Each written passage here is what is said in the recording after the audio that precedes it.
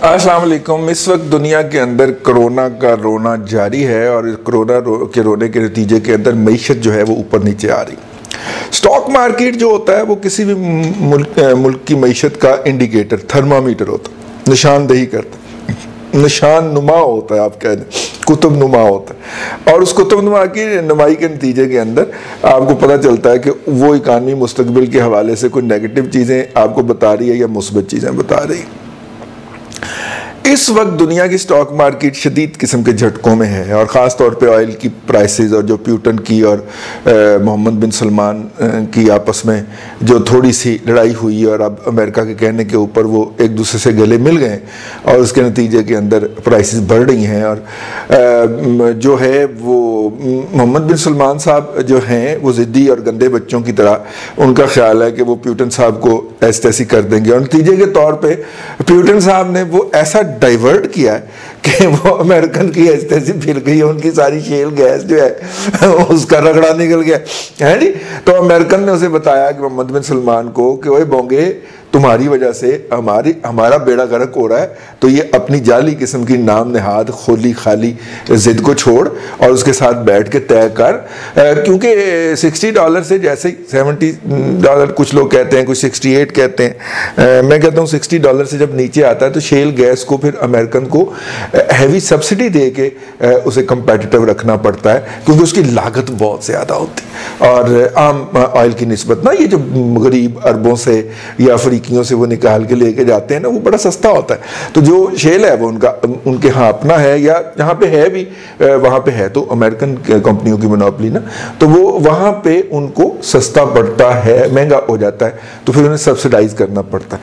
اگرچہ انہوں نے انٹرسٹ ریٹ زیرو کر دیا، لیکن اگر پھر بھی سسٹینیبلٹی نہ نکل رہی ہو، تو پھر انہیں کہنا کہ وہ چولانا مار، اس کو چھوڑ، اس کو اوپر آنے دے۔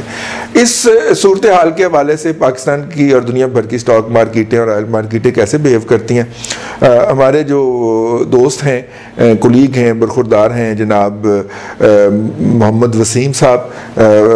وسیم صاحب جو ہیں، وہ اس وقت بیرون ملک گئے ہوئے ہیں چھٹیاں منانے کہ انہیں کرونا نے آ لیا ہے۔ لیکن بہرحال وہ مارکیٹ پہ نظر تو رکھے ہوئے ہیں۔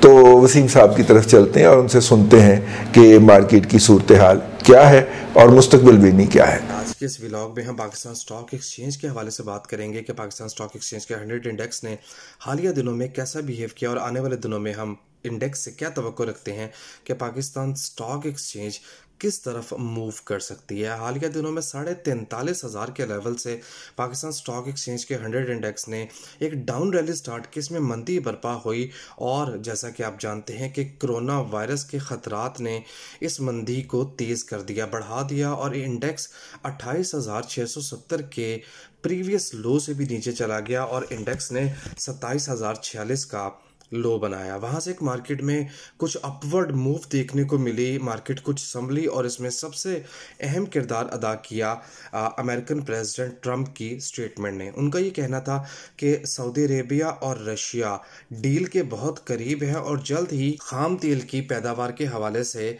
جو کٹ ہے، یہ پیداوار کم کر دی جائے گی، جس سے خام تیل کی قیمتوں کو سپورٹ ملے گی۔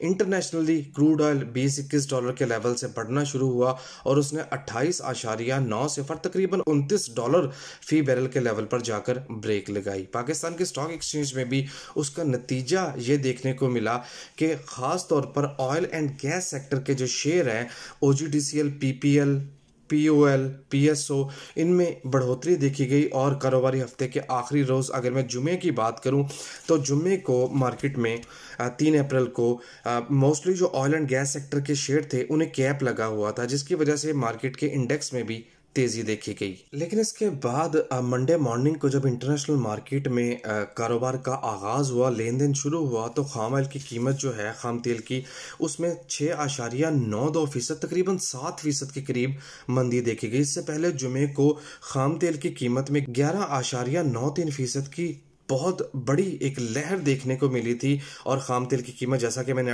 کیا، انتیس ڈالر فی بیرل کے لیول پر چلی گئی تھی۔ اور اس کی سب سے بڑی وجہ منڈے مارننگ کو خام تیل کی قیمت میں اس مندی کی یہ نظر آئی کہ اوپیک کی جو میٹنگ منڈے چھ اپریل کو ہونا تھی، وہ ڈیلے ہونے کے بعد جمعرات نو اپریل کو چلی گئی۔ انڈیکس پہ واپس آتے ہیں۔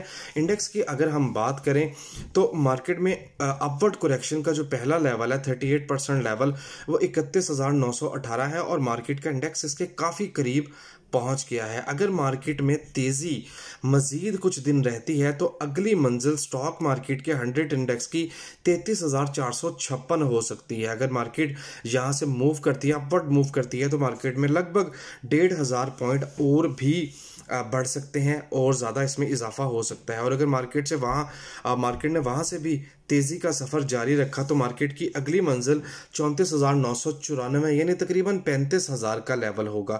لیکن اگر ہم ڈاؤن سائڈ پہ دیکھیں ڈاؤن سائڈ کی اگر ہم بات کریں تو مارکیٹ اگر یہاں سے واپس پلٹتی ہے تو ستائیس ہزار چھیالیس کا جو مارکیٹ نے لو بنایا ہے، الٹیمیٹلی مارکیٹ کی منزل دوبارہ سے وہ لو ہوگا اور اس لو پہ ایک مرتبہ پھر اٹیک ہوگا۔ اور اگر وہ لو بریک ہو جاتا ہے تو مارکیٹ کی اگلی منزل چوبیس ہزار دو سو ستاسی ہوگی۔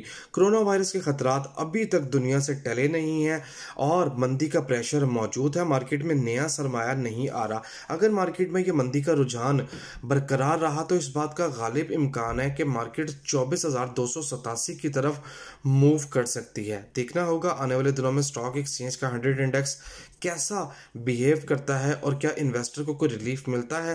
ادروائز اگر مندی ریزیوم ہوئی تو یہ پاکستان سٹاک ایکسچینج کے انویسٹرز کے لیے بہت خطرناک صورتحال ہوگی اور اس میں آئل اینڈ گیس سیکٹر کے جو شیئر ہیں، جیسا کہ میں نے تذکرہ کیا کہ اگر سعودی عربیہ اور رشیا کسی نتیجے پر نہیں پہنچتے تو یقیناً یہ ایک بھیانک خبر ہو سکتی ہے آئل اینڈ گیس سیکٹر کے لیے بھی اور اس سیکٹر کے انویسٹرز کے لیے بھی۔ ممکن ہے ابھی تک جس طرح کے مثال لے لیجیے O G D C L میں سیونٹی تھری کا ہمیں لو دیکھنے کو ملا ہے۔ اگر خام تیل کے متعلق کوئی اچھی خبر مارکیٹ میں نہ آئی تو پریویس لو بھی ٹوٹ سکتے ہیں آئل اینڈ گیس سیکٹرز کے شیئرز میں۔ جی بہت شکریہ وسیم صاحب۔ آپ نے جو ہے وہ اوورال ایک ویو پیش کیا ہے، لیکن یہ ویو جو ہے ظاہر ہے کہ تھوڑا سا تخیر کا شکار ہو گیا۔ ہماری خواہش یہ تھی کہ چونکہ اس وقت مارکیٹ جو ہے وہ ان لیولز پہ آئی ہوئی ہے تو کچھ دو تین ایسے شیئرز بھی آپ ہمارے سامعین کے ساتھ شیئر کرتے جو کہ اپنے لویسٹ باٹم کے اوپر موجود ہوں ٹیکنیکلی رائٹ نہ ہو کیونکہ پاکستان کی مارکیٹ جو ہے وہ ٹیکنیکلز پہ چلتی ہے اور ٹیکنیکل کے اوپر یہ باون تولے پاؤ رتی پوری پوری چلتی ہے۔ تو اب دیکھنا ہے کہ میرا خواب جو ہے وہ چوبیس ہزار والا پورا ہوتا ہے اور تین سو چالیس روپے والا شیئر جو ہے وہ تین روپے چالیس پیسے پہ آتا ہے کہ نہیں۔ یہ جو ہے، اس کے حوالے سے ہم کوشش کیا کریں گے کہ ایک ویڈیو ہفتے میں سات نہیں تو کم از کم دو یا تین۔ اس حوالے سے بھی آپ کی خدمت میں حاضر ہوں۔ آج کے لیے اتنا ہی۔ اللہ تبارک و تعالیٰ آپ کو آسانیاں عطا کرے اور آسانیاں خلق خدا میں تقسیم کرنے کی توفیق عطا کرے۔